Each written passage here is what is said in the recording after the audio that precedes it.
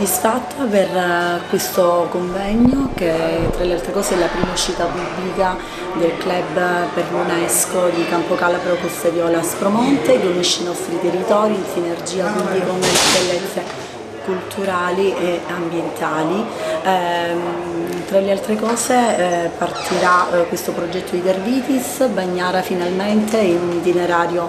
eh, europeo, al Consiglio europeo per eh, i terrazzamenti e la Costa Viola. Ci sarà, sarà, istituito un laboratorio dove prenderanno parte tutte le forze eh, professionali, eh, locali, eh, politici eh, che comunque ehm, interagiranno con noi insieme al laboratorio dell'Università dell Mediterranea di Reggio Calabria, l'Abomed, ehm, che grazie al direttore, al professore Calabrò, sta attenzionando degli studi di settore ehm, e quindi presto insomma, presenteremo questo progetto a Bagnara.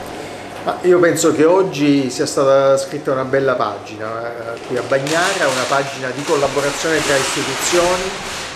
eh, di collaborazione tra l'università e il comune, ma di collaborazione anche con il territorio, con i diversi soggetti che operano qui sul territorio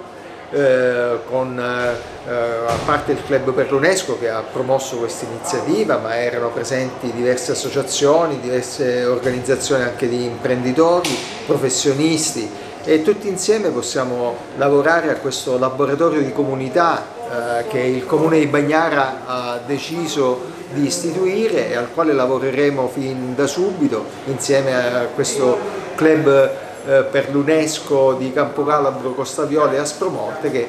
con la giornata di oggi eh, avvia questa nuova fase di attività.